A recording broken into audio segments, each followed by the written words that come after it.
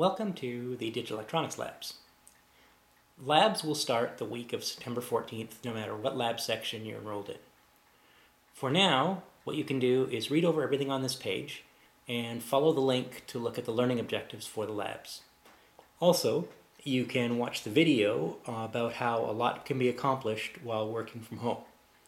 If you want to look at next week's lab ahead of time, you can click on the content link and then follow the link for Lab 1.